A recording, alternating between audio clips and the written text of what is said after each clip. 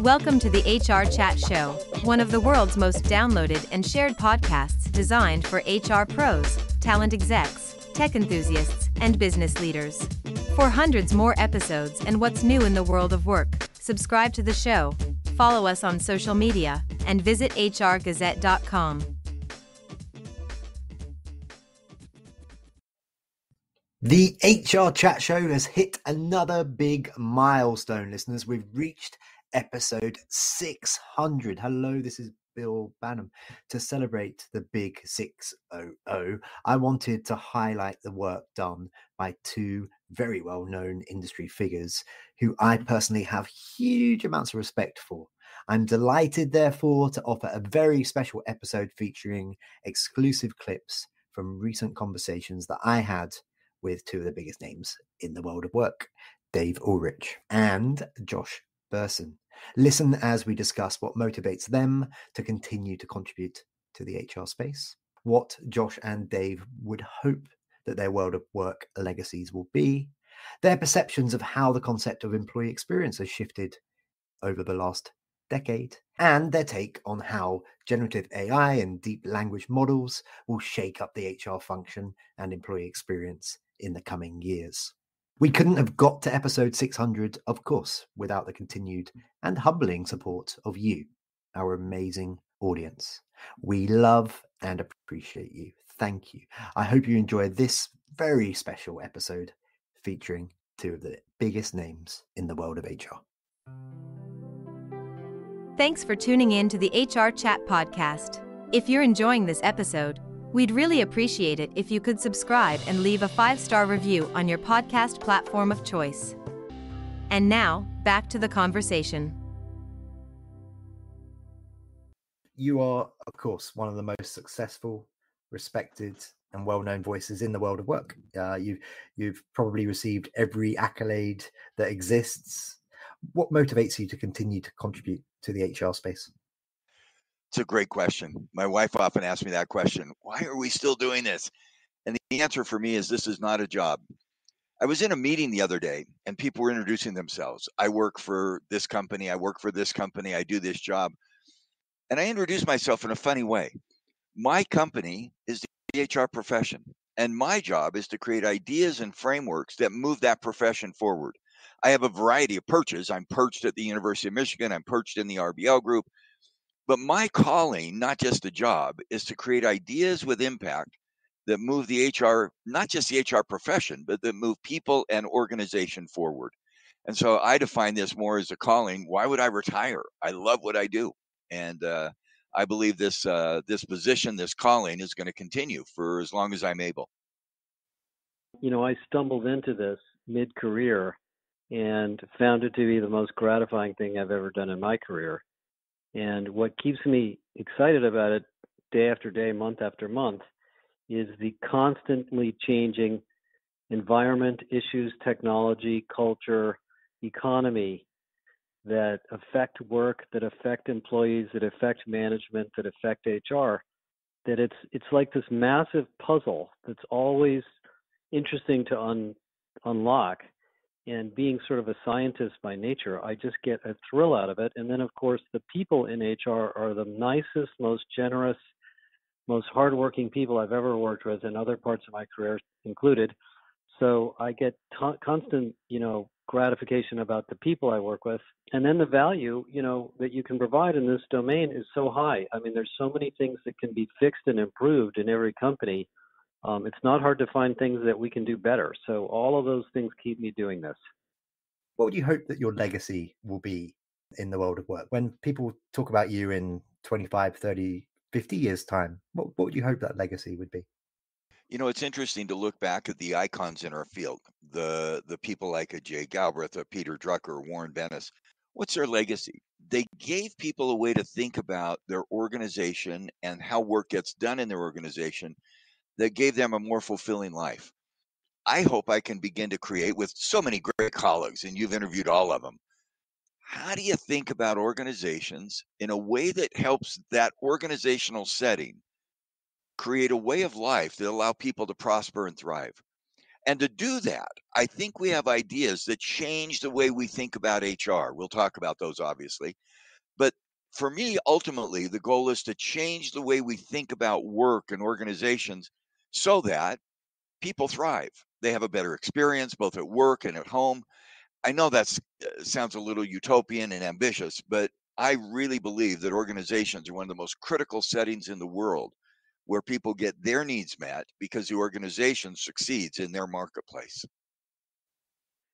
Wow. Well, I don't think about that very much. Um, I suppose um, I'm not really looking for fame here, uh, but I suppose I would like to be remembered when whenever I retire as someone who brought a lot of new ideas and a lot of creative thinking to this domain and added a lot of value to a lot of companies and to a lot of individuals. I, I think as I get a little bit older, I get more turned on by helping each individual HR professional and leader in their own career, um, as well as helping companies. So um, that that would be fine. That would be enough.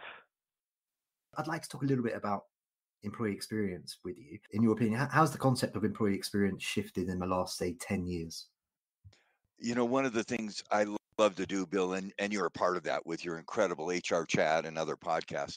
I love to build on the past. Sometimes I get frustrated that people come out and say, here's a brand new idea. We should engage people. And I'm going, give me a break.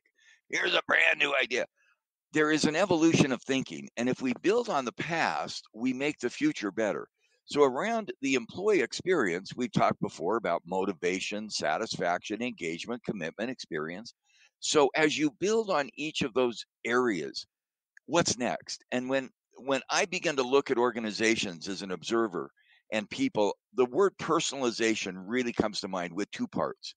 Part one is personal let's build on the employee experience and really demonstrate a sense of whatever you want to call it the C words, compassion, care, concern, or the E words, empathy, emotion.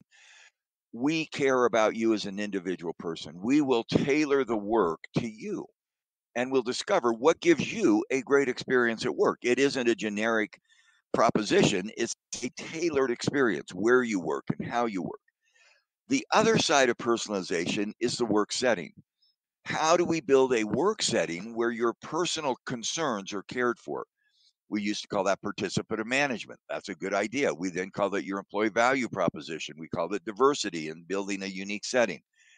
Now I think what we're beginning to write, we call it hybrid work. Where are you going to work? Now I think we're beginning to say your work setting is going to require the navigation of paradox. I got to be honest, Bill. When I did, I'm posting on LinkedIn every week, and when I'm trying to write in 1,200 words a complicated idea, this is one of the most difficult. Because when I, as a business leader, look at my employee, I say to them, I'm going to personalize your work. On the one hand, I'm going to care for you. I'm going to know you. I'm going to have empathy. I'm going to have concern. I'm going to show compassion. On the other hand, I'm going to tailor the work for you. What that tailoring means, and a lot of people misinterpret it, you can work wherever you want, whenever you want, however you want. No, that's not true. The reason we choose Paradox is we care for you, and we as a company have to still be competitive. We're going to tailor the organization so that it meets your needs, but you then meet our needs. And so the personalization is both on the one hand, personal for the employee, and the other hand, isation, if you will, navigating the paradoxes where you work, we're going to navigate that paradox. You can work at home, you can work in the office. We're going to navigate those two. We're going to care for you, and you're going to be competitive. We're going to care about you as an individual, and we're going to build a collective organization. And navigating those paradoxes says you are not just entitled to do whatever you want whenever you want. You've got to do whatever you want whenever you want and create an organization that succeeds in the marketplace. That is tricky. But that's where we see that employee experience growing personalization, caring for you as an individual, navigating the paradoxes that allow the organization to be successful in its marketplace. Well, I mean, there's a long history of this. I mean, I, I think it goes back to the role that employees play in companies. You know, if you go back maybe 100 years, employees were workers, they were labor and they were considered to be replaceable parts. It actually goes back to slavery, as a matter of fact.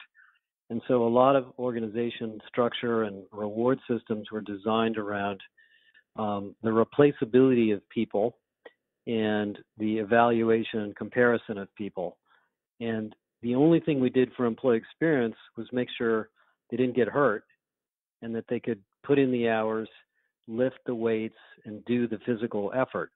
And then, of course, when we moved into the information economy, um, you know, we needed to train people, we needed to align people, we needed to give people tools.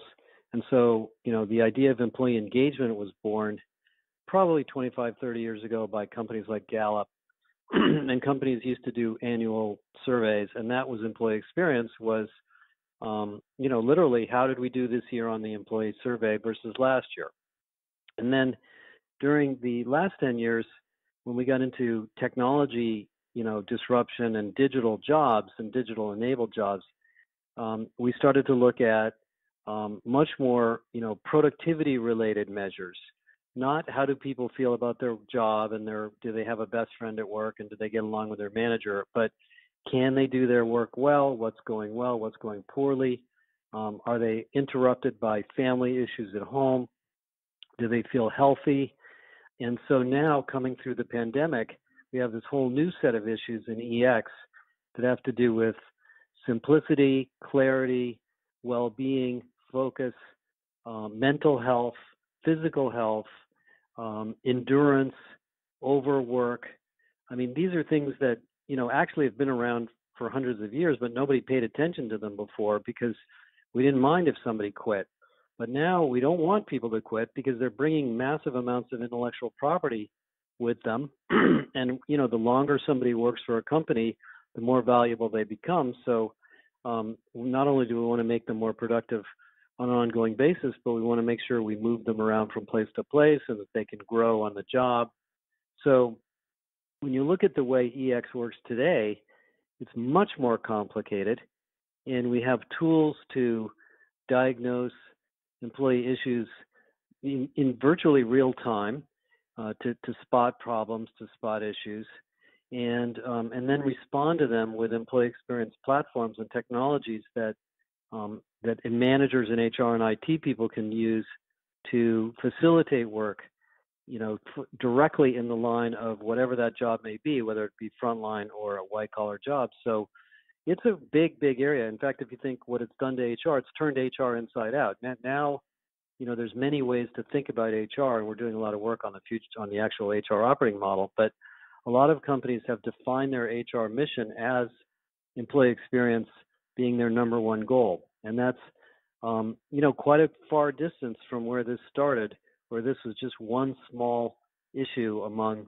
many others. So and then it's going to get even more complicated because we have AI and we have better analytics and we have sentiment analysis and um, what is called passive listening, where systems can literally look at your video online or look at the emails you're sending and look at your calendar and say, "Hey, it looks like you're stressed out. Maybe you need to take a break." So it's it's it's a never-ending journey, but it's it's really changed a lot. Before we hit record today, uh, you asked me a question. You, you, uh, it was along the lines of what, what are the, what are the key topics at the moment? What, what are the what are the most popular topics that you're you're seeing and, and influencing the downloads and such on the podcast? And um, of course, I answered uh, that one of the main ones is uh, how generative AI and large or deep language models are shaking things up in the world of work. Um, at a at a recent Disrupt HR event, we had 12 speakers. Six or seven of those were talking about AI and its impact on the world of work in different ways. And uh, tech is increasingly impacting the employee experience and changing the ways that HR departments are operating. How do you think generative AI and deep language models will shake up the HR function in the coming years? There's two answers. So let me give a broad answer once. Technology is always evolving. And, and and we've seen some waves of technology that are evolving. One wave is technology allows us to do things more efficiently we got it. All the technology enabled solutions. The second wave, technology is full of apps. You've worked with Josh Bersin. He knows more apps of technology than I'd even seen. Hundreds of new apps that are po- populating. The third wave of digital and technology at a broad level is information. It allows us to access information we didn't see before. And the fourth wave that we're moving towards is it allows us to have a differentiated experience As technology moves through those waves from efficiency to application to information to experience, it changes the way of work. We can have experiences. I just had a nice experience with you, Bill, by seeing what's in your background the ocean, the peace. I get to peek into people's lives through technology and find out. I have found out so many cool stories. That's a picture of your father. Tell me the story. That's a picture of your mother, your grandmother. And I get to see the experience build in a remote way. That's the broad evolution of technology from efficiency to apps to information to experience. Specifically with AI, think about AI as an incredible tool. I see people saying, stop AI, stop AI. And you probably don't remember this, but many years ago in the Tiananmen Square uh, crisis, there was a, an individual that's an iconic picture standing in front of the tank saying, Stop the tanks from rolling. We're not going to stop AI. It's real, it's going to happen. What's the benefit of AI? It allows us to consolidate the past. The way AI works is it goes out into the internet and it says, what's been done in the past. It's kind of like a Google search extended, and it synthesizes that in a brilliant way. I decided in November when ChatGPT came out, my children, who are all uh, college professors, said, Dad, this is going to change our world. So I got on, I did an exercise. What's the future of HR? ChatGPT in 20 seconds wrote a 200 word essay. I read it and I went, oh my gosh, that's incredible. That's incredible. And then I read it again and I said, that's what people that you've interviewed on your show and I and others have written. That's what Chat GPT does. That's what and neural language processing does is it goes back and processes that. It does not do two things. It does not create the future. So I wrote a 200 word essay that was what the next generation would be. I think knowing that we don't need to do literature reviews. We can do that through Chat GPT, but we've got to have the creativity to go forward. The second dilemma that I've seen with AI, Chat GPT and AI enabled, it doesn't have the ability to discern.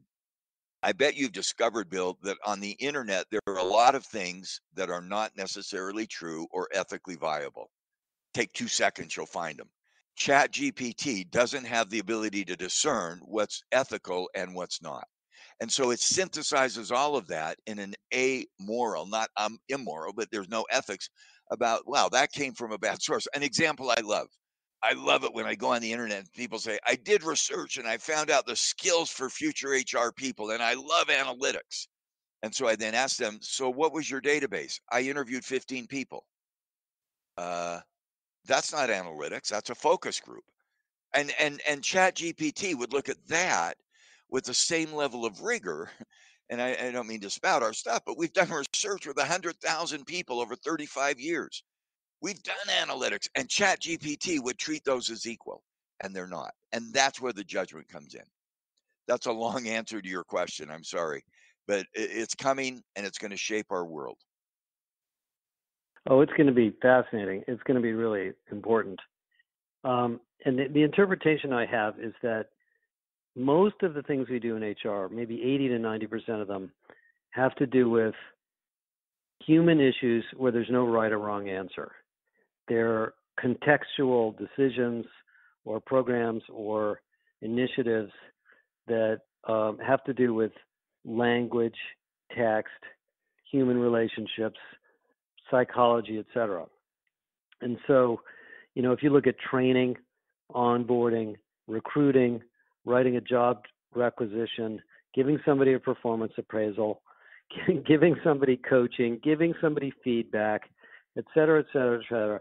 Those are all interpretive jobs where you interpret information from a human conversation of some kind or some information you have and you and you feed it back to this person to either help them, recruit them, train them, develop them, etc. Turns out the generative AI is pretty good at a lot of that. It's really good at summarizing a lot of textual information, um, interpreting it, and I don't mean in a human way, but in a mathematical way, and then um, turning it into something else. So I have seen demos already, and we're only about a month or two into this, of companies, vendors who've built recruiting tools that can rewrite job requisitions create conversations with um, candidates, con- help recruiters better spot good candidates, um, and better assess candidates using generative AI. And I think this is going to be massive, and it's going to complement all this skills work that we've been trying to do for the last couple of years to assess people's skills.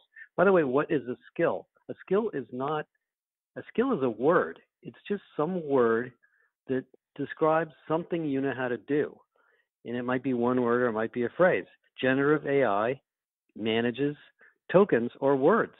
So it's a skills assessment system, basically.